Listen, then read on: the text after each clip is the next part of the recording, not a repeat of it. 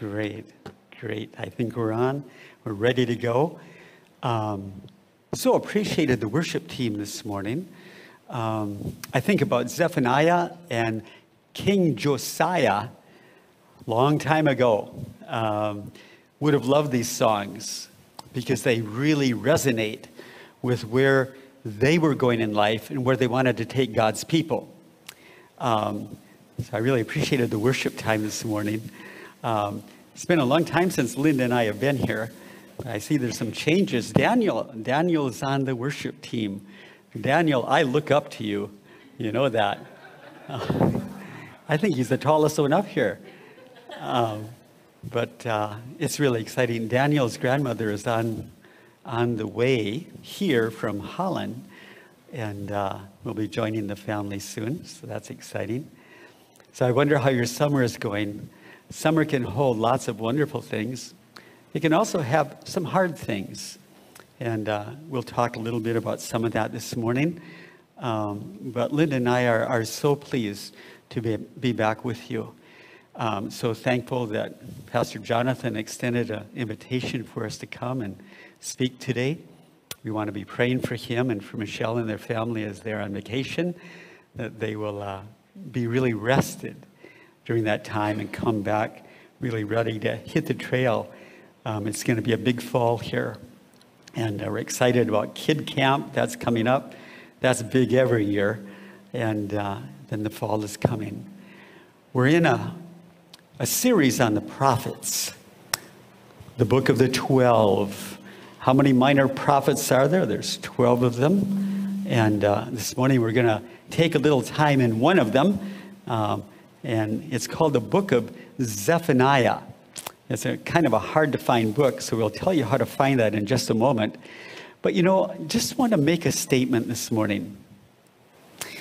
Um, God has the ultimate claim on my life. There's nobody else that has a claim on my life like God has. He's created me, and He's also the author of my next breath. He's going to enable me to have my next heartbeat. Um, and I really appreciate heartbeats these days. Um, thank you for your prayers, by the way. We'll give you an update at the end of the service.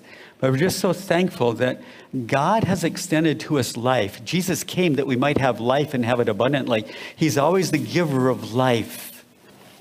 And you know, as you read through this book of Zephaniah, oh, there are some stark warnings, a lot of woes in it.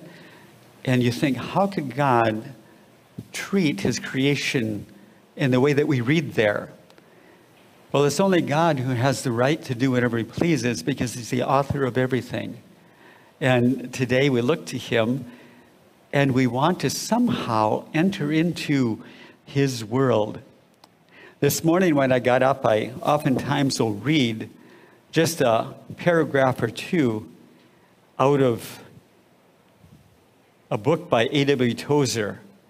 This morning it said this a spiritual kingdom lies all around us, enclosing us, embracing us, all together within reach of our inner selves, waiting for us to recognize it.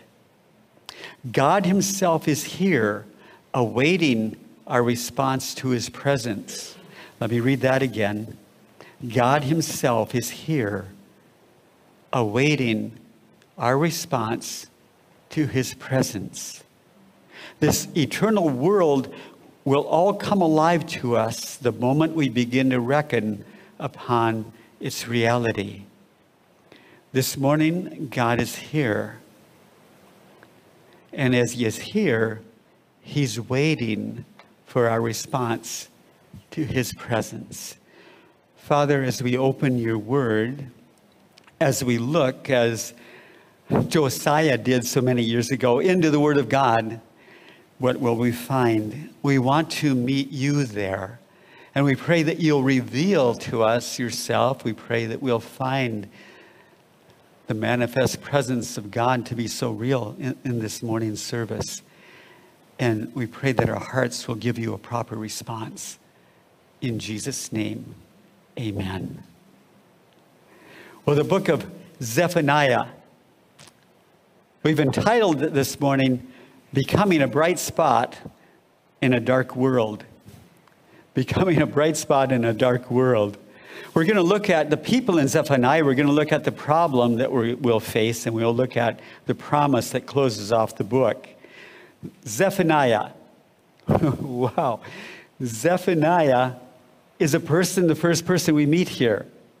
Zephaniah, if you're looking for it, go to the book of Matthew and then turn left and go four books, and you'll find this little obscure book. It's only three chapters long. It's a little known prophet. It is not only hard to find, but he often gets ignored or confused with Zechariah. Once you do find him, you'll find that in the last 12 books of the Old Testament, which you've been studying, are the minor prophets. Zephaniah is number nine. Number nine.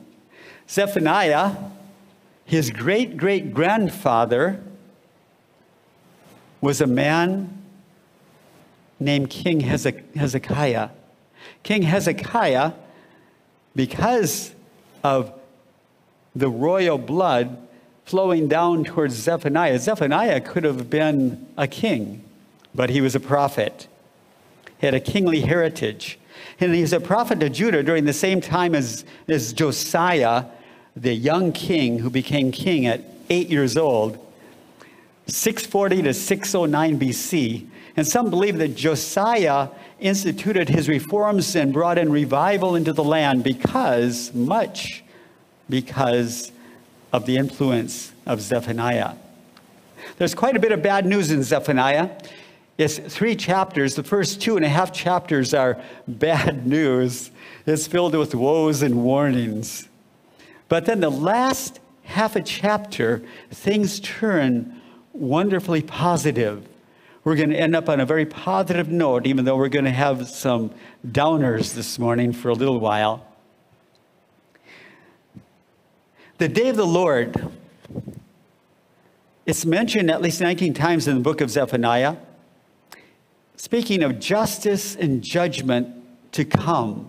The day of the Lord was coming to the land of Judah. And it's also coming in our future. It's a double prophecy. We'll get into that in just a moment. But Zephaniah means the Lord hides. The Lord hides. And we are going to come back and talk about that, that significance. Zephaniah. It leads us right to Josiah the king. Josiah was a, just a young man when he became king. He was one of the godliest kings in Judah. Israel had lived through a civil war. They had split north and south, no, northern tribes of Israel and then the southern tribes of Judah. They had split through a civil war. And in the northern tribes, there was nothing of godliness. There were no godly kings, nothing to celebrate there. There were a couple in the southern kingdom of Judah, and Josiah was one of them. Josiah was a son of Amon, who was a wicked king. He didn't last on the throne very long. He was assassinated, and suddenly, at the age of eight, little Josiah stepped into a kingly role. That was pretty tough. But something good began to happen, I tell you. Leadership that follows God brings something good, something of life to the people. And that's what happened. So here's kind of a formula for running a kingdom. When you're eight, you take over. You know, who's going to tell little Josiah what to do? I mean, he was king. He could sleep in late. He could have sugar cereal in the morning, right? If he wanted it. He could have lots of donuts. Uh, I don't know that he did. Something happened in his life. By the time his life had doubled in age, he was in his eighth year of reigning, he began to seek God. So, number one, if you want a formula for becoming a bright spot in a dark world, begin to seek God. Josiah did it when he was 16 years old. Four years later, he wiped out the idols in the land. We'll talk about them. They were such evil entities. But he began to clear out the idols of the land at 20. Then at 26, a very profound thing happened. He sent people to renovate the temple. The temple had been closed down. They hadn't been worshiping, they hadn't been offering sacrifices. And lo and behold, while the renovation was going on, somebody says, Ah, look what I found. It's the book of the law. it's the scriptures. Nobody had been reading the scriptures for years. The kings before him were so wicked, and they just turned the people away from God. Godly leadership in a nation is so important. As the leaders go, the nation follows. But Josiah says, I'm going to lead in a new direction. And he led the people into the scriptures. And so, what you have here is if you're at a point this morning where maybe God seems far away and you haven't been very close to him, be like Josiah, begin to seek him. It's exciting. It's so exciting you can repent. Repentance is mentioned in this book, and it's a wonderful gift of God. It's when you're going down the road and suddenly you realize you're going in the wrong direction and you make a U turn and you come back towards God. That's what repentance is. Repentance is a U turn. And that's what we can do. If I've found that I've been drifting away from God, I can stop, I can turn around, and I can go back. That's repentance. I can begin to seek God. And I, I love I love what the scripture says. And you will seek me and find me when you search for me with all your heart. You can take that to the bank. The book of Jeremiah tells us this wonderful thing that God offers himself to us. Seek me, but when you seek me, don't do it half heartedly. Do it with all your heart. And there's a guarantee you will find me. In fact, James kind of reiterates it in the New Testament when he says, Draw near to God and he will draw near to you. You can take that to the bank. Do you feel far away from God? Draw near. God will draw near to you. He will meet you every time, every time. If I have allowed something in my heart to rival God, I can become like Josiah and I can repent and I can take the idols out of the land of my heart. Is there anything that I deem more important than God? Is there anything that I allow to rival God's presence on the throne of my life? I can evict it. I can send it packing. I can repent. I can turn back to God. And I can say, I'll be like Josiah.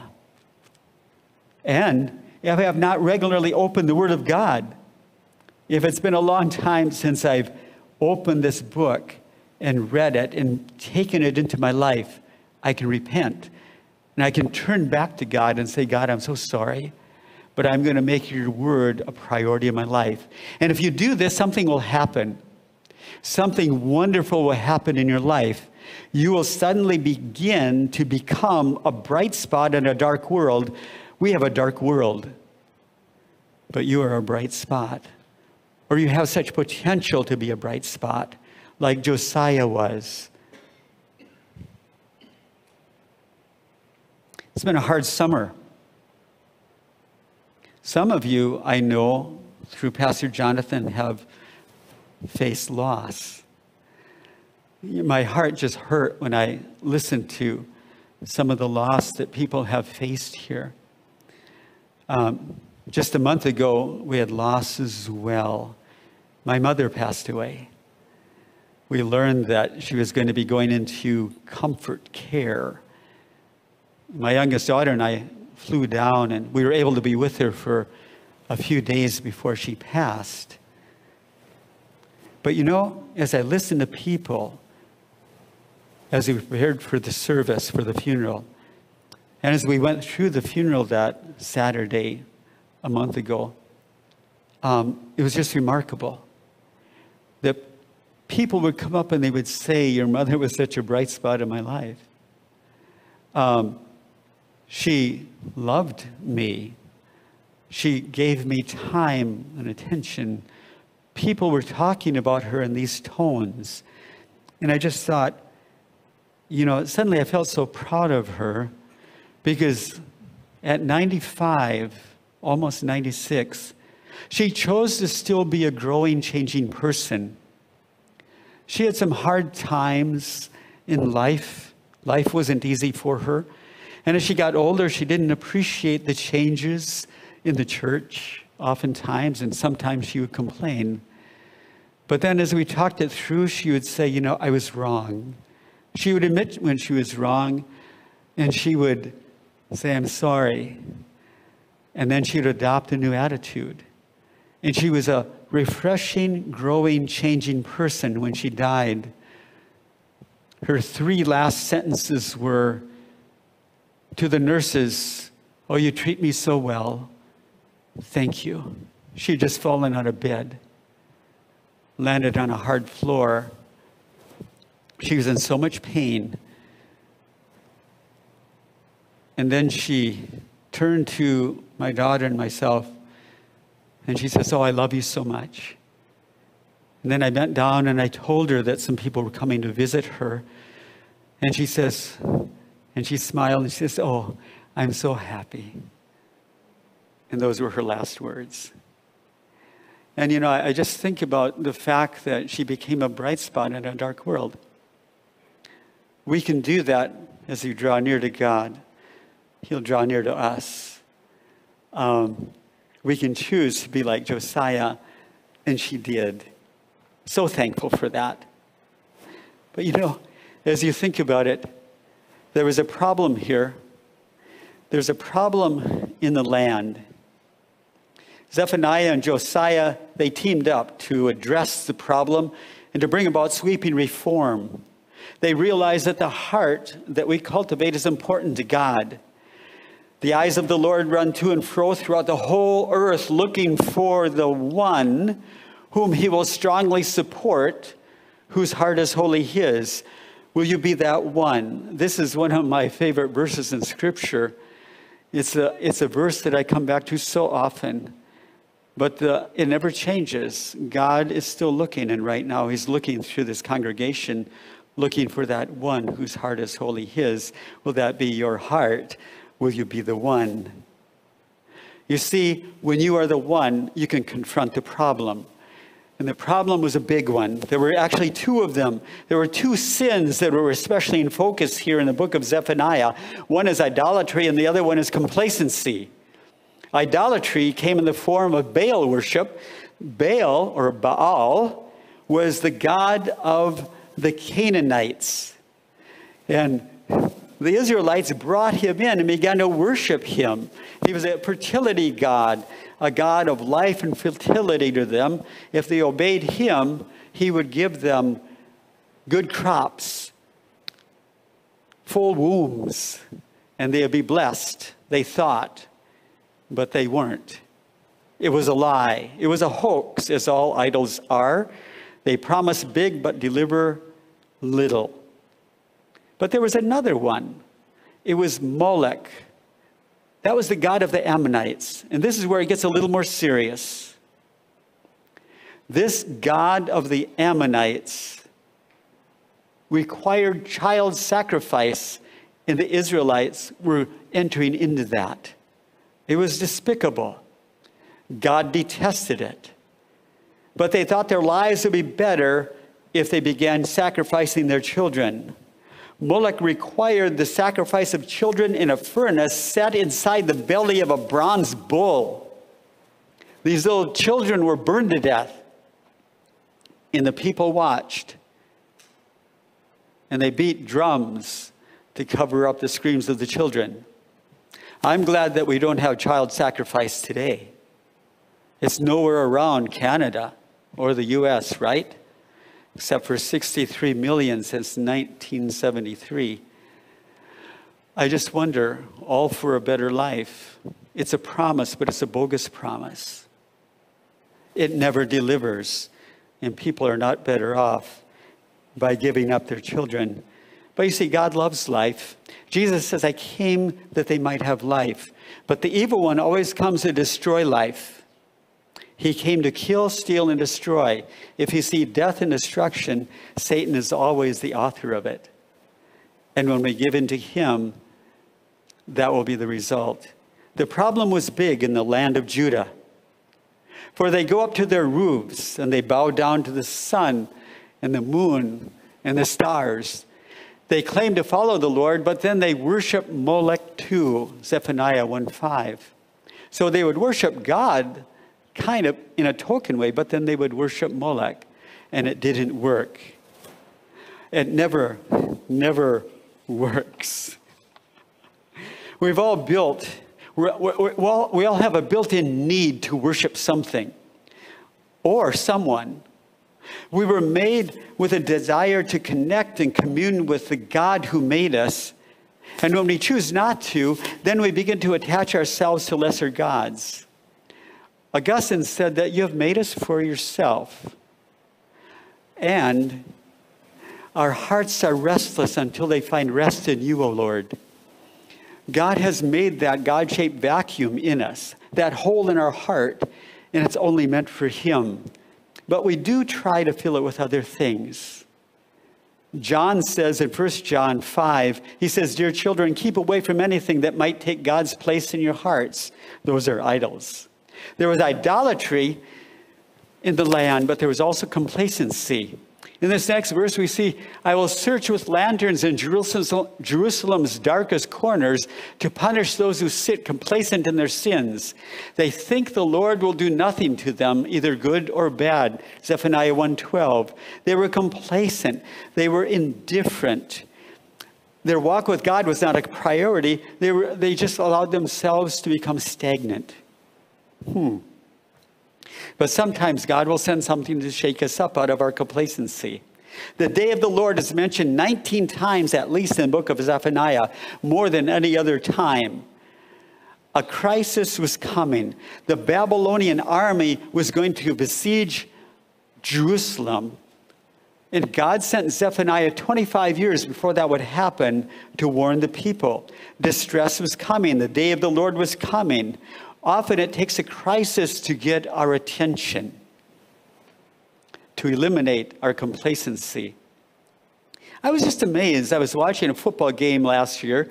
It was the Cincinnati Bengals that were playing uh, Buffalo. I think it was a, might have been a playoff game. And it was towards the end of the season. The stadium was full. People were really into the game. Suddenly, there was a safety from the Buffalo Bill team that was in on a tackle. He got up and started walking towards the huddle and he collapsed. His heart stopped. It literally stopped. His name was Damar Hamlin. And as it laid there on the field, the players, the referees, and all the fans in the stands and the announcers all went into shock. This isn't supposed to happen. What do we do now? And suddenly, there was such a deadly silence that filled the stadium. People gathered around this player on the ground, but they weren't standing, they were kneeling. People came out and they started to try to revive him, and they couldn't. And he just laid there, he was unresponsive. And suddenly, people started praying.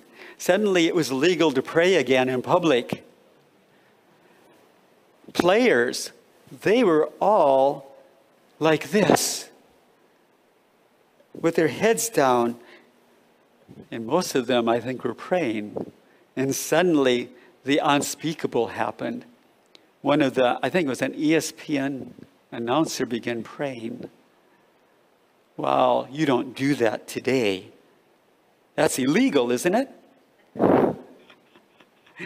But people cried out to God. And you know, suddenly Damar Hamlin regained his heartbeat. They carried him off the field and they put him in intensive care for a while. You know that he's back in the on the practice squad again, getting ready for their first game. He's playing again. God answered people's prayers. There's been a lot of talk about that, but it took a crisis to get people people's attention, and suddenly the complacency melted, and uh, God was looked to. And this is why Zephaniah came and he prophesied and he talked about the day of the Lord. He says, People, get ready. There's something coming. Don't be complacent. God made you, He gives you His next breath, He gives you his, your next heartbeat. Recognize His presence, recognize His claim to your life. Nobody and nothing has any claim to your life but God, first and foremost. He's the only one that initially matters in our life. People matter, but God is always the primary one who I owe my life to. And so He has something to say about it. And He made me for a purpose. Do I know that purpose? Do I know that He loves me and He wants me to love Him back? Now, it is just amazing. We're going to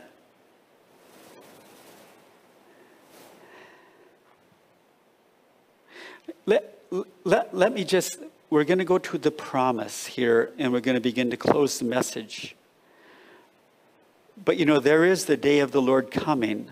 It's not just spoken about in Zephaniah, but it is also spoken of by Peter in 2 Peter chapter 3. He tells us that judgment will surely come. And this is for us. But the day of the Lord will come like a thief. The heavens will disappear with a roar. The elements will be destroyed by fire, and the earth and everything in it will be laid bare. Knowing this day is coming, how do we prepare for it? Well, we look to the promise. There's a promise that has been made. And it's a wonderful promise. Zephaniah means the Lord hides.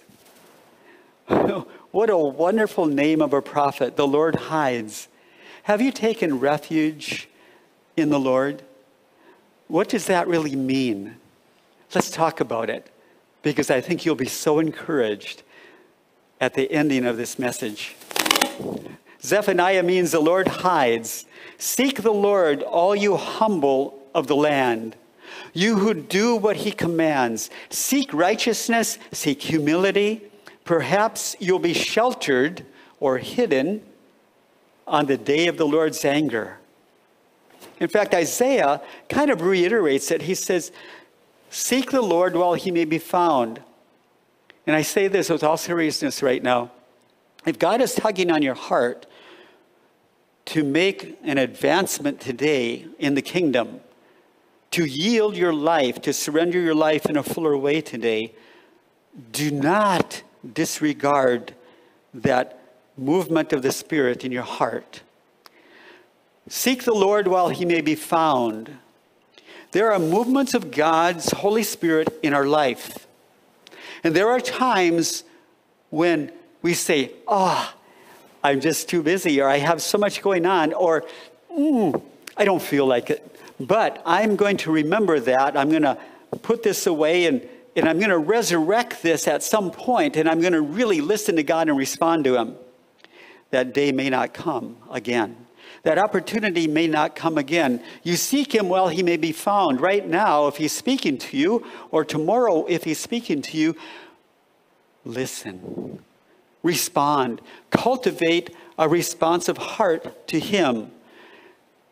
He's seeking for that one heart who is wholly His. Say, God, my heart is yours. He deserves it, you know. He authored your life and mine. Hidden in Christ and kept from the wrath of God. You know what happens? You move into the New Testament, and there's the idea of being hidden in Christ there as well.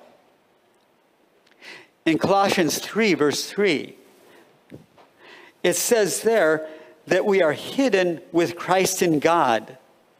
What are we hidden from? One of the main things is the wrath of God. Do we understand the theory of the wrath of God towards sin? God is a loving God. God is love, but God is also holy and righteous. And he has to condemn sin. Otherwise, he wouldn't be God. He'd be just some milquetoast deity who had no authority whatsoever. but God is God. Aren't you glad that God is God? And right now, the biggest need of your life and mine is to let God be God in our life. Um, oftentimes they'll say, Please accept me for the way I am. Well, God says, I'll do that. Will you accept me for the way I am? Will you accept God for who He is? And the minor prophets spell it out God is a God of wrath. He's also a God of love. He's a perfect God.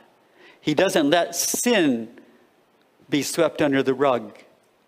Every one of your sins has to be accounted for, even the little ones. But this is where our heart just melts because it was on that cross that Jesus absorbed the wrath of God for every sin of my life. Every sin of my life was taken by him, and he suffered for it. It was like an eternity of suffering in those moments on the cross. And he died having his father abandon him. My God, my God, why have you forsaken me? God turned his eyes away from his son. Never in all eternity had that happened. They had the perfect union. You and I upset that union because of the love of God. And he says, I'll be the one. I will take your sin and the penalty and the wrath of God for it. I'll take it on the cross. And it was so excruciating. My God, my God, why have you forsaken me? But you know, I see there's wonderful illustrations in life. I think we shared one about a prairie fire here once, but there was another one. Two men were out in a field and they saw fire coming. And in the prairies, when the wind whips up those fires, they travel so quickly. They couldn't get away because it was traveling so fast. And one of them suddenly took some matches out of his pocket and he lit the grass in front of them, the dry, brittle grass, it just went, it ignited, and the wind just kind of swept it and fanned the flames, and it burned the whole section in front of them. As the fire was coming towards them, the other fire, they then stepped onto the place that was burned by the fire they had started. And when the other fire reached them, it stopped. Because where fire has burned, it will not burn again. Where the wrath of God has been poured out, it will not be poured out again. It was poured out on his son. The wrath of God was poured out on Jesus for my sins. And if I take refuge in him, I'm safe. God is just. He's not going to exact that penalty from me when he has put it on his son. What a wonderful God. Redeemed people they bring so much joy to God. By his son's sacrifice, we become the light of his heart, and he sings over us. You know that when a person comes to God, when they do that U turn, repenting, and comes back to God, trusting fully in his son. In Luke 15, it tells us of the sheep and the coin and the lost son.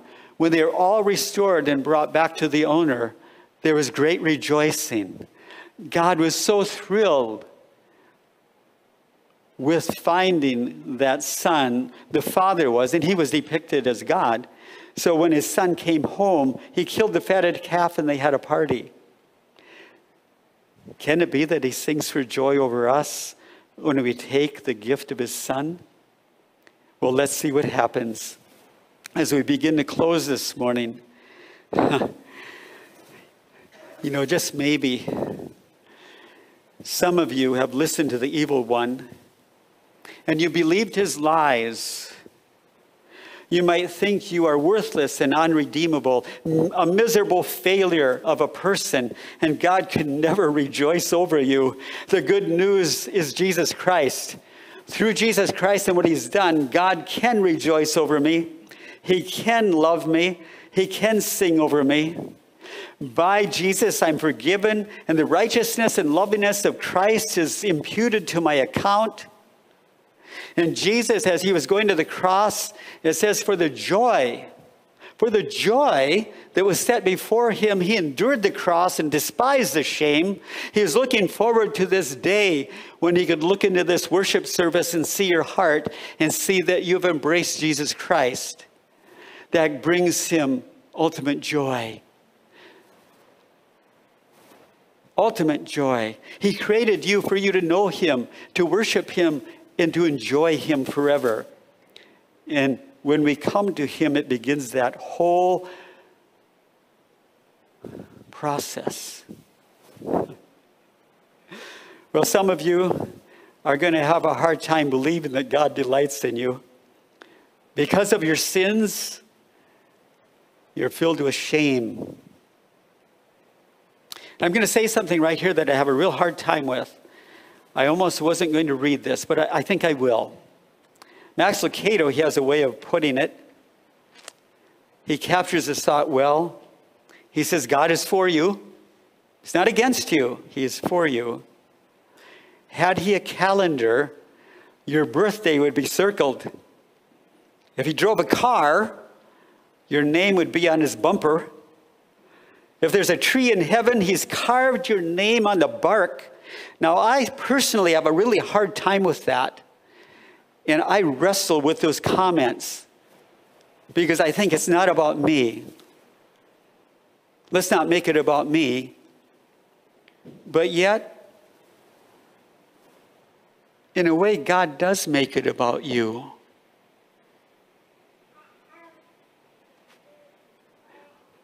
And we have to realize that. Listen to this verse.